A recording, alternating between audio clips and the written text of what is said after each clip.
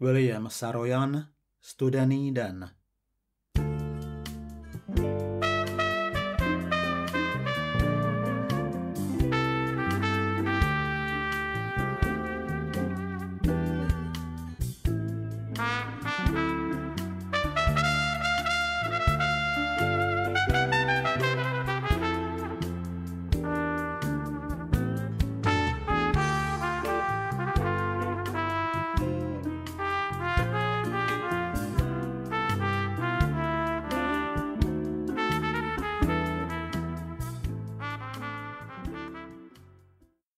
Drahý Michaele, chci ti povědět, že je dnes v San Francisku velmi chladno a že mrznu.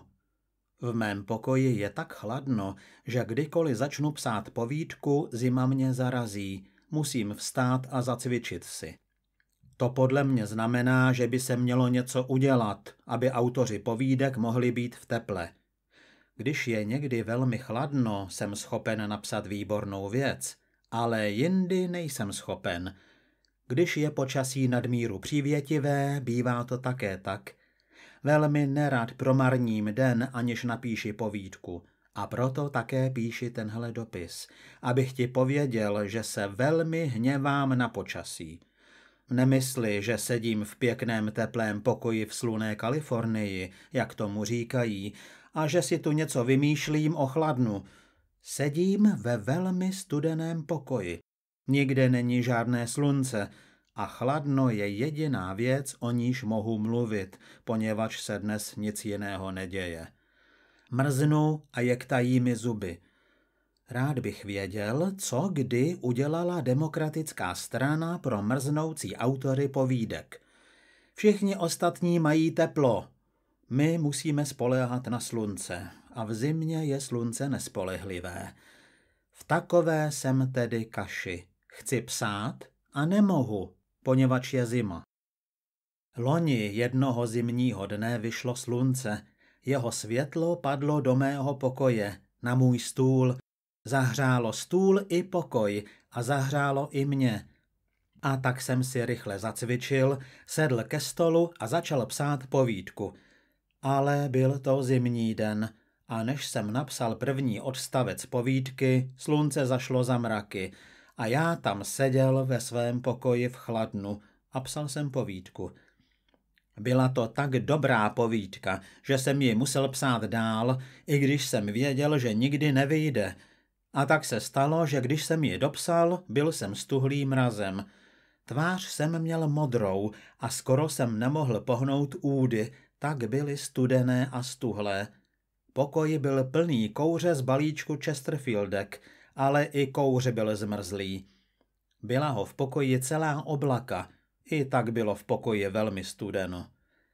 Když jsem jednou psal, přišel jsem na to, že bych mohl sehnat nějaký gbelík a udělat si v něm oheň. Chtěl jsem v něm spálit asi tak půl tuctu svých knih a udělat tak teplo, abych mohl psát povídku – Našel jsem starý kbelík, přinesl jsem jej do pokoje, když jsem se však rozhlédl po knihách, které bych mohl spálit, žádné jsem nenašel. Všechny moje knihy jsou staré a laciné. Mám jich asi pět set, za většinu z nich jsem zaplatil po pěti centech. Když jsem se však díval, které bych mohl spálit, žádnou jsem nenašel. Byla tam veliká, těžká německy psaná kniha o anatomii. Byl by z ní ohromný oheň. Když jsem je však otevřel a četl řádku toho krásného jazyka, nemohl jsem to udělat. To bylo na mě příliš. Nerozuměl jsem tomu jazyku, nerozuměl jsem z celé knihy ani slovo, ale byla jaksi příliš výmluvná, než aby ji bylo dovoleno spálit. Stála mě ta kniha před dvěma nebo třemi lety pět centů a vážila asi šest liber. Vidíte tedy, že bych byl vydělal, kdybych jí byl užil třeba jen jako paliva, že jsem to v skutku měl udělat, vytrhnout stránky a zapálit je. Ale nemohl jsem. Bylo v té knize přes tisíc stránek. Chtěl jsem zapálit vždycky jednu stránku a dívat se, jak hoří, Když jsem však pomyslil, že všechen ten tisk zmizí v ohni, že všechna ta přesná řeč zmizí z mé knihovny, nebyl jsem schopen to udělat a mám tu knihu dosud. Když mě unaví četba velkých autorů, vezmu tuto knihu a čtu ten jazyk, kterému nerozumím. Während der Kindheit ist sie von bernförmiger Gestalt und liegt vorzugsweise in der Bauchhöhle. Je to prostě rouhačství jenom pomyslit, že by se mohlo spálit tisíc stran takového jazyka. A to jsem se ještě ani nezmínil o nádherných ilustracích. Pak jsem se začal rozhlížet po laciných románech. Víte sami, že svět je takovými věcmi předspán.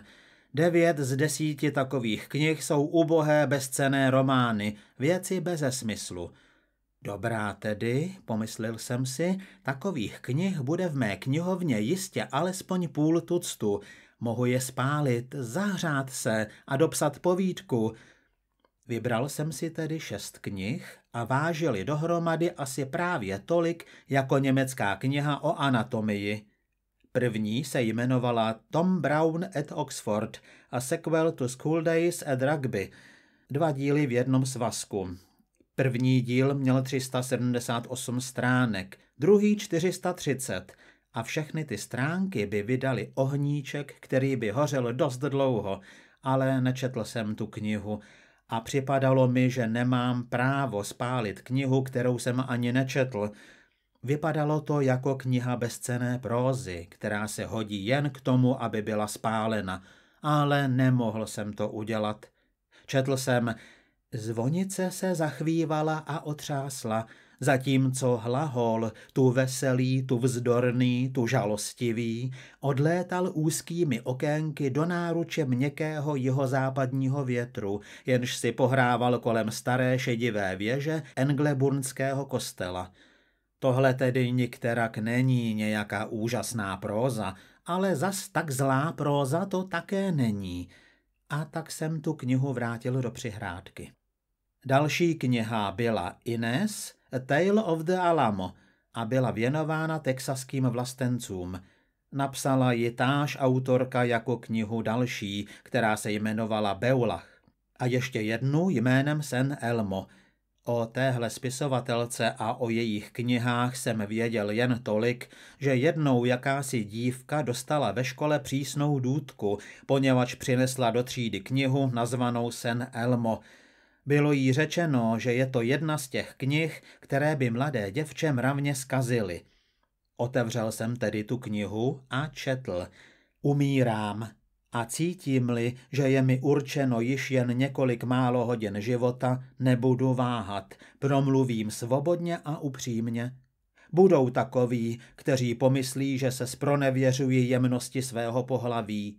Přihlédnu však k okolnostem, vím, že tomu tak není. Milovala jsem tě dlouho a vědomí, že se má láska ke mně vrátila, je mi pramenem hluboké nevýslovné radosti. A tak dále. Bylo to tak špatné, že to bylo dobré a rozhodl jsem se, že tu knihu přečtu při první příležitosti celou. Mladý spisovatel se toho může tolik naučit od našich nejhorších autorů. Je to ničitelská práce pálit špatné knihy, dokonce víc ničitelská, než pálit dobré knihy.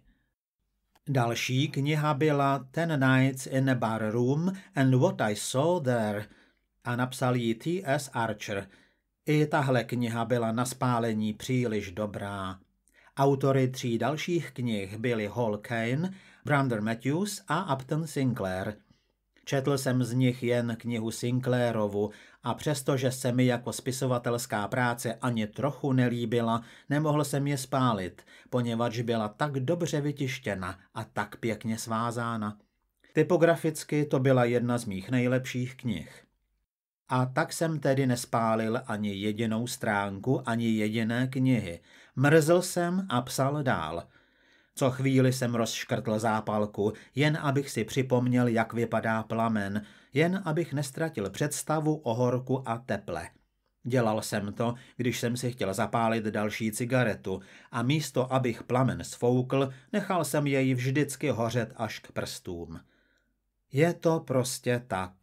Máte-li úctu už k pouhé představě knihy, k tomu, proč tu vůbec v životě jsou, věříte-li papíru a tisku, nemůžete spálit ani jedinou stránku, ani jediné knihy. I když třeba zmrznete, i když se sami pokoušíte něco napsat. Nemůžete to udělat, je to na vás mnoho. Dnes je v mém pokoji právě tak chladno, jako bylo toho dne, co jsem si chtěl udělat oheň z knih. Sedím v chladnu, kouřím cigarety a pokouším se dostat to chladno na papír, abych nezapomněl, až opět bude v San Francisku teplo, jaké to bylo v těch chladných dnech. Mám v pokoji malý gramofon, hraji na něm, když si chci zacvičit, abych se zahřál. Když se však v pokoji příliš ochladí, gramofon nefunguje. Něco se v něm stane, zamrzne olej, kolečka se nechtějí točit a já si nemohu k svému ohýbání a pohazování rukama zahrát. Musím to dělat bez hudby.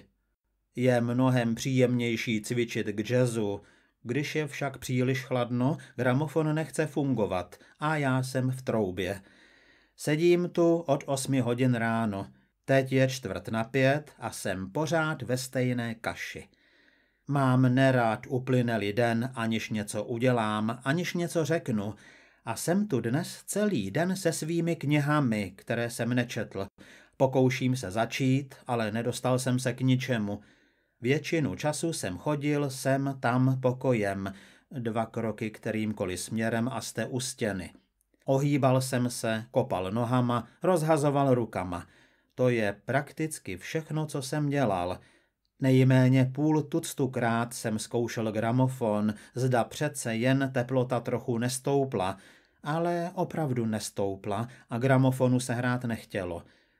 Myslil jsem si, že bych ti o tom měl povědět – Není to nic důležitého, hm, je to hloupost, tolik toho nadělat s trochou studeného počasí, ale zároveň je chladno dnes opravdovou skutečností. A je to právě teď velká věc. A tak o ní mluvím. Nad čím jsem užasl a co mě potěšilo, to je to, že mi dnes psací stroj ani jednou nevynechal – Kolem Vánoc, když jsme tu měli vlnu studeného počasí, stále mi vynechával a čím víc jsem jej olejoval, tím víc vynechával. Nevěděl jsem, co s ním. Bylo to proto, že jsem jej mazal nesprávným druhem oleje. Ale celou tu dobu, co jsem psal o chladném počasí, dělal stroj svou práci skvěle. A nad tím právě žasnu. A to mě těší. Je to krásné pomyšlení, že tenhle stroj přes všechno chladno dělá dál svou práci a píše řeč, kterou mluvím. Dodává mi to odvahy, abych u něho setrval, ať se stane cokoliv. Bude-li pracovat stroj, říkám si, musíš pracovat s ním. O to jde. Nemůžeš-li psát slušnou povídku, poněvadž je zima, piš něco jiného, piš cokoliv, Piš někomu dlouhý dopis, pověs mu, jak je ti zima. Než dopis dojde, bude zase slunce venku, bude ti zase teplo. Ale dopis dojde a bude se v něm mluvit o zimě. Jestliže je taková zima, že nemůžeš napsat kousek obyčejné úterní prózy, jen se do toho učerta dej. Začni mluvit o tom, co je po ruce, začni o tom, co je pravda. Hovoř o tom, jak ti mrznou prsty na nohou, o tom, jak si chtěl opravdu spálit knihy, aby se zahřál. Hovoř o gramofonu. Mluv o drobných nedůležitých věcech za chladného dne, kdy máš hlavu stuhlou a ruce i nohy zmrzlé. Pověz o věcech, které si chtěl napsat, ale nemohl si. Tohle jsem tedy říkal sám sobě. Přišel jsem dnes ráno po kávě sem, abych tu napsal důležitou povídku. Z kávy mi bylo teplo a necítil jsem, jaká je ve skutečnosti zima. Vzal jsem papír a začal rozmýšlet, co jsem chtěl povědět v té důležité povídce, která nikdy nebude napsána, poněvadž jakmile něco ztratím, ztratím to navždy. A ta povídka je navždy ztracená, poněvadž do mě vnikla zima – Umlčela mě, donutila mě co chvíli vyskočit ze židle a cvičit. Ale mohu ti o tom povědět, mohu ti poskytnout představu, co to mělo být. Tolik si toho ovšem ještě pamatuji, ale nenapsal jsem to a je to ztraceno. Dávám to jakýsi pojem o tom, jak psát. Povím ti, co jsem dnes říkal ráno sám sobě, když jsem si tu povídku začal v duchu rozmýšlet. Pomysli na Ameriku, řekl jsem si dnes ráno, na celou tu věc. Na města a všechny domy, na všechny lidi přicházející a odcházející, na příchod dětí, nad jejich odchody, na příchody a odchody lidí a smrti, na život, na pohyb, na hovor, na zvuk strojů, na řečnění. Pomysli na bolest v Americe, na strach, na hlubokou vnitřní touhu všech živých věcí v Americe. Vzpomeň na velké stroje, na otáčející se kola, na dým a oheň, na doly a lidi, kteří v nich pracují, na hluk, na zmatek. Vzpomeň na noviny, na biografy, na všechny části tohoto života. To nechť je tvůj cíl, vnuknout představu té velké země. Pak se obrať k jednotlivostem. Jdi za jedním jediným člověkem a pobuď s ním. V něm, buď s ním s láskou, hleď porozumět zázraku jeho bytosti – vyzdvihni pravdu jeho existence, objev nádheru té pouhé skutečnosti, že je naživu. A řekni to prostě, velkou prózou. Ukaž, že je složen z času, ze strojů, ohně a dýmu, z novin a hluku. Jdi s ním za jeho tajemstvím a hovoř o něm jemně. Ukaž, že je to tajemství člověka. Nepodváděj. Nevýmýšlej si lži, abys někoho povyrazil. Nikdo v tvé povídce nemusí být zabit. Prostě sděluj, co je velikou událostí veškerých dějin a všeho času, pokorná neumělá pravda pouhého bytí. Není většího tématu, nikdo si nemusí počínat násilně, aby ti s tvým uměním pomohl. Je ovšem násilí. Zmiň se o něm, až bude čas se o něm zmínit. Mluv o válce. Mluv o veškeré ošklivosti, o všem promarňování. I to dělej s láskou. Zdůrazňuj však slavnou pravdu pouhého bytí. To je první a hlavní téma. Nemusíš hned vytvářet nějakou triumfální gradaci. Člověk, o kterém píšeš, nemusí vykonat nějaký hrdinský nebo ohavný čin, aby ta tvoje próza byla velká. Ať jen dělá, co dělal vždycky, den co den, ať jen pokračuje v životě. Ať chodí, hovoří, myslí, spí, sní, ať se probouzí a opět chodí, ať opět hovoří, ať se pohybuje, ať je živ. To stačí. Není nic jiného, o čem psát. Nikdy si neviděl povídku v životě. Životní události nikdy nezapadly do formy povídky nebo básně, nebo do nějaké jiné formy. Tvoje vlastní vědomí je jediná forma, které je ti třeba. Tvoje vlastní pozornost je jediná akce, které je ti třeba. Mluv o tom člověku, rozpoznej jeho existenci. Mluv o člověku. No, tohle je ubohá představa o tom, jaká ta povídka měla být. Když jsem sám sobě říkal, co a jak napsat, bylo mi teplo po kávě. Ale teď mrznu a tohle je tak vše, co mi z toho zůstalo v hlavě.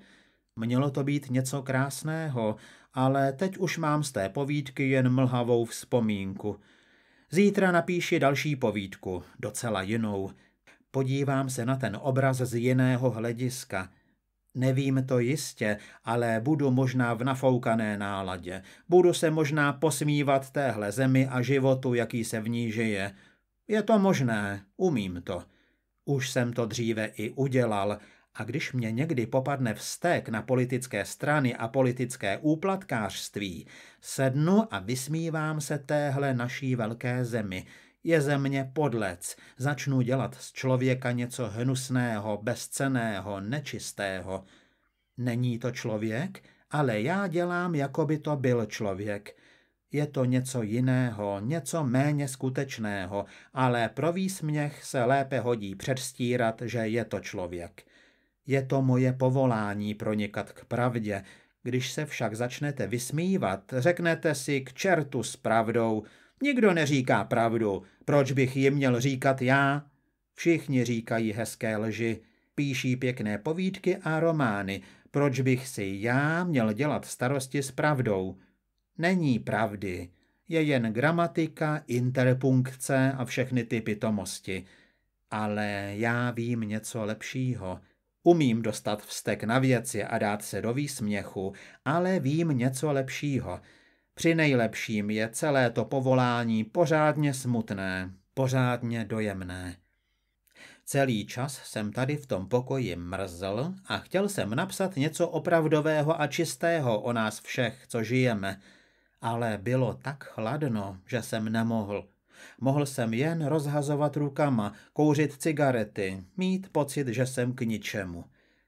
Dnes, časně ráno, když mi bylo teplo po kávě, měl jsem tu velkou povídku v hlavě, jen ji napsat, ale opustila mě.